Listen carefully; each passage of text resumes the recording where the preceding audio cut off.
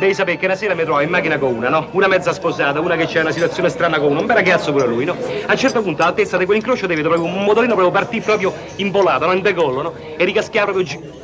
Sopra c'è stava un ragazzino. E la macchina, quella che gli ha data la botta, no?